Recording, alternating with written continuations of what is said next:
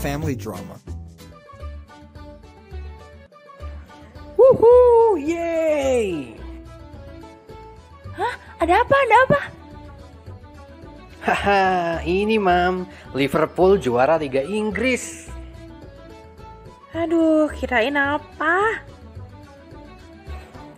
Ngomong-ngomong, kamu tahu dari mana kalau Liverpool juara? Bukannya lagi corona ya? Kan jadi berhenti liganya. Aduh, mam, mam, udah dari kapan kali liganya mulai lagi? Makanya update dong internet. Maklum atuh, mama kan sibuk. Eh, ngomong-ngomong, mama bingung deh. Bingung kenapa, mam? Ya, mama bingung aja. Kok kamu bisa sih tahu berita dari negara lain secepat itu? Hmm? Kok bingung sih, mam? Ya lewat internet lah. Iya, mama tahu. Cuma mama terbingung sebenarnya apa sih internet itu? Cara kerjanya gimana? Ya ampun, mam. Ya mama kan work from home. Kemarin ngirim file Google Drive, ya itu semua internet. Dih, ini anak mamanya nanya bukannya jelasin, ngomong aja terus. Jelasin dong. Ya udah deh, yuk, mam kita nonton video ini. Ini bakal bikin mama nggak bingung lagi deh tentang internet itu apa, cara kerjanya gimana. Yuk. Oke, hai anak-anak kelas 8. Ketemu lagi sama saya, Antonio Joshua di IT kelas 8. Ya, tadi barusan kita baru saja melihat sebuah episode ya animasi tentang seorang mama dan seorang anak. Ya mereka ngobrol dan ternyata mamanya bingung. Kok bisa sih data atau kejadian yang terjadi di luar negeri dalam sekejap mata bahkan dalam detik yang sama bisa kita ketahui? Gitu. Padahal kita di belahan dunia yang lain. Mungkin kita udah sering ya itu mah kalau orang tua nanya ya mah itu mah internet tuh cuma kalau mama internet kalau mama nanya nih emang internet kerjanya kayak gimana sih? Internet itu apa kita kan bingung juga ya uh, internet itu Indomie telur kornet kan enggak ya oke mari kita bahas makanya internet itu apa dan cara kerjanya gimana yuk kita bahas Oke, jadi internet itu apa sih? Yuk, buat lebih memahaminya, kita bakal lihat salah satu situs atau website favorit kita semua. Yeay, kamu dan YouTube. Ada cinta di sana karena kita sering banget lihat YouTube ya. PewDiePie lah, Atta lah, uh, Naruto lah, meme lah, semuanya lah ya. Kamu dan YouTube ada cinta di sana. Tapi tahu nggak cara kerjanya gimana? Kita ambil contoh Atta. Misal, Mr. Atta Halilintar sedang ngevlog di Paris ya. Dia beres ngevlog, dia ngomong, beres, diedit semuanya, dan dia upload kan. Dia nggak upload tuh ke YouTube. Nah, tahu nggak itu sebenarnya dia nggak upload itu dikirimnya ke mana? Ternyata guys, YouTube itu punya banyak e, namanya server, punya banyak server. Di Eropa ada, di Jepang ada, di Amerika ada, bahkan di Amerika Selatan ada, ya. Dan yang paling dekat sama kita ada di Singapura. Gitu. Jadi datanya dalam satu detik yang sama begitu Atta pencet enter, pencet OK, upload, itu semua datanya dalam satu waktu yang sama disebar ke semua server yang ada gitu. Nah, nyampe di Singapura, Singapura yang paling dekat sama kita. Nah, yang begitu kita masuk ke YouTube, kita buka YouTube, kita search Atta Halilintar, langsung uh, server YouTube-nya mengeluarkan video Atta yang baru saja dimasukkan oleh Atta ke servernya, dan kita bisa melihatnya begitu. Itu cara kerjanya. Jadi uh, simpelnya sih ya, internet itu apa? Internet itu jaringan. Jadi jaringan yang menggabungkan atau menghubungkan semua gadget yang ada di bumi ini. Jadi meskipun gadget-gadget, laptop, komputer, HP terpisah jarak berjuta-juta kilometer, ya dong. HP saya bisa tetap lihat YouTube tuh, bisa tetap bisa buka, bisa tetap buka video Avatar, The Legend of Aang, Naruto, Atta Halilintar, PewDiePie semuanya. Padahal yang terdekat aja data-datanya itu ada di mana? Ada di Singapura, jauh kan? Tapi saya bisa tetap uh, terhubung sama komputer dan server yang ada di Singapura. Dan saya bisa tetap lihat apa yang ada di dalam server itu, apa yang apa aja data yang ada di dalam server tersebut. Gitu. Nah dari tadi saya ngomong server, server, server, server. Opo iki? Server itu apa sih? Jadi gini, ada dua jenis komputer guys di muka bumi ini. Ada yang namanya workstation atau PC yang biasa kita pakai ya untuk personal use, untuk kita uh, gunakan untuk keperluan pribadi kita. Dan ada yang namanya server. Sebenarnya server dan personal komputer itu sama. Ada monitornya, ada mouse-nya, ada keyboardnya, semuanya sama. Tapi bedanya adalah memorinya, hard drive-nya. Ya, server itu hard drive-nya bisa menyimpan data dari 50 komputer biasa sekaligus bahkan lebih. Ya, kalau kayak YouTube sih bisa jutaan komputer sekaligus. Jadi eh, video-video kalau kita masukin 1000 video di komputer kita ngelek pasti. Kita udah kita ngebuka Word aja jadi ngelek. Kita ngebuka komputernya aja udah lama banget.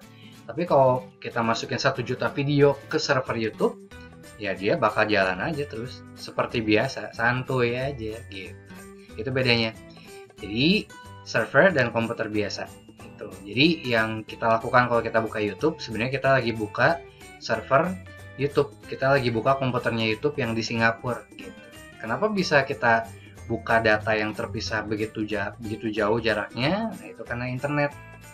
Sekarang baru kita pelajari gimana sih cara kerja internet.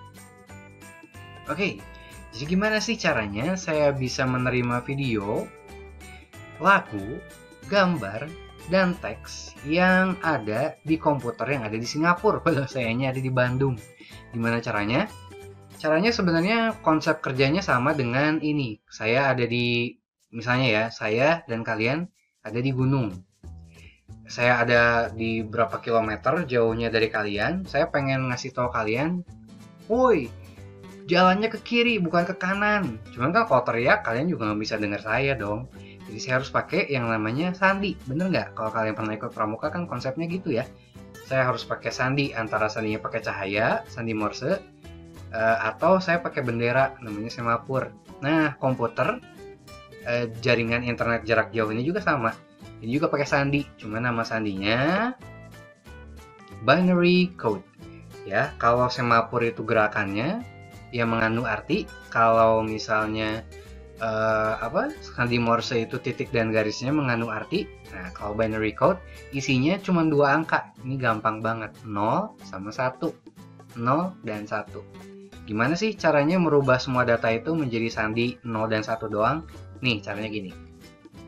Nah, jadi masing-masing ya, masing-masing angka ini, angka, huruf, uh, apalagi uh, warna, semuanya itu udah ada nada lagu di, di lagu juga itu udah ada sandinya masing-masing.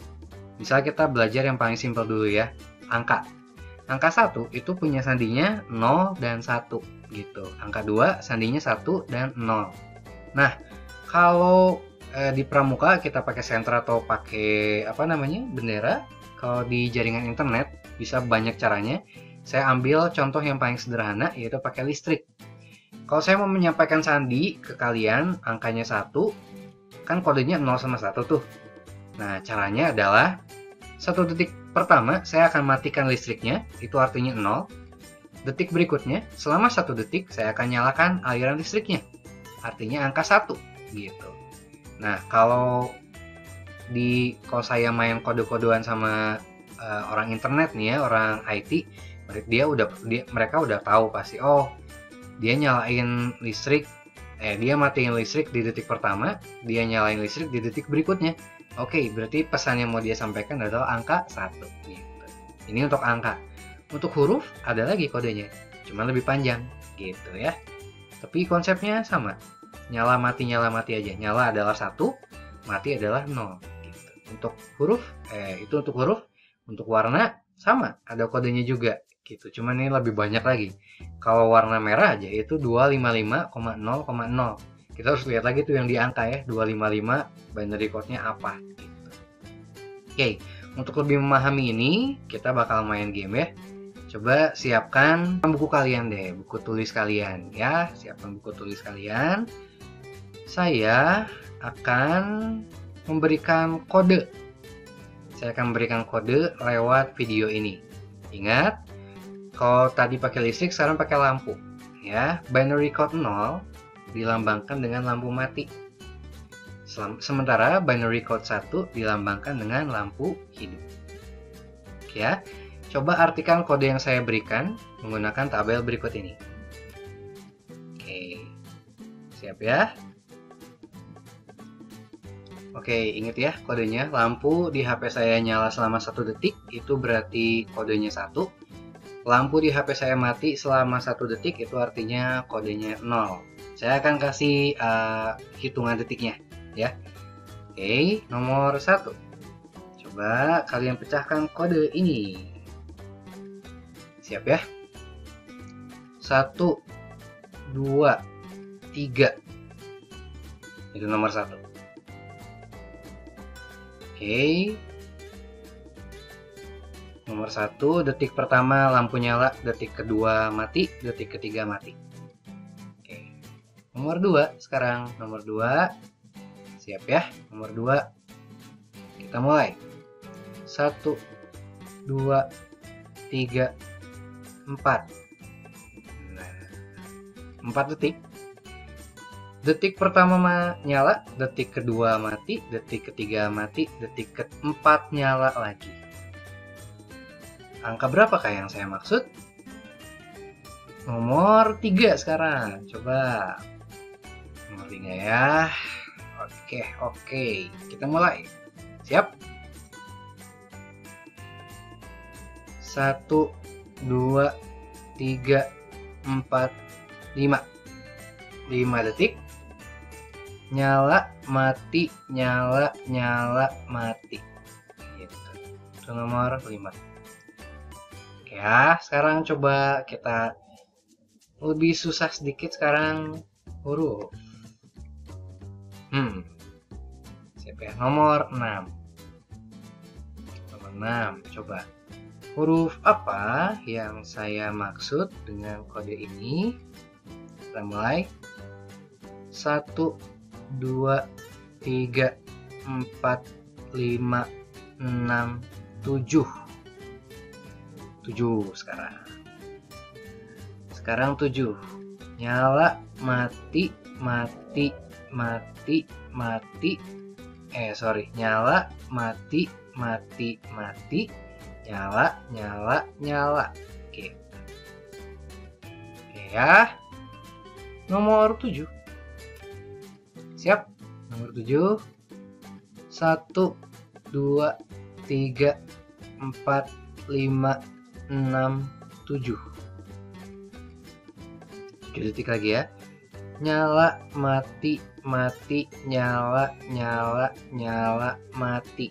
Nah, itu artinya huruf apa? Next, nomor 8 kita mulai siap. Satu dua tiga empat lima enam tujuh. Nyala mati.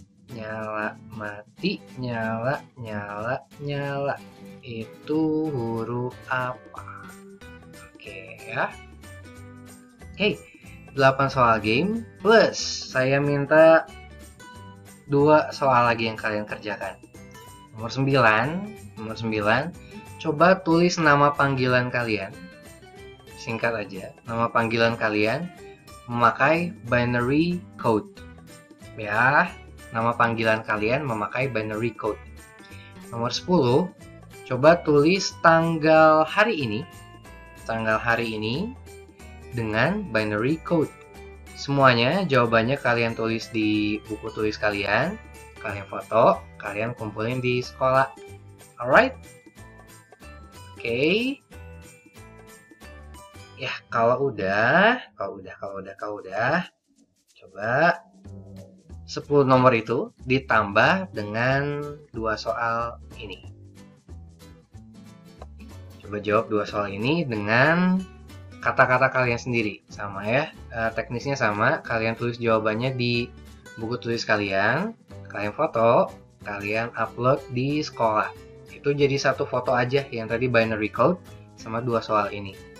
Oke. Okay. thank you kelas 8 thank you buat uh, pelajaran hari ini.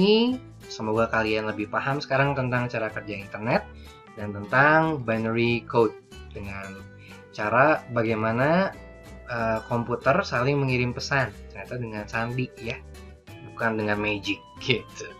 Oke, sampai ketemu di pertemuan berikutnya. God bless you guys.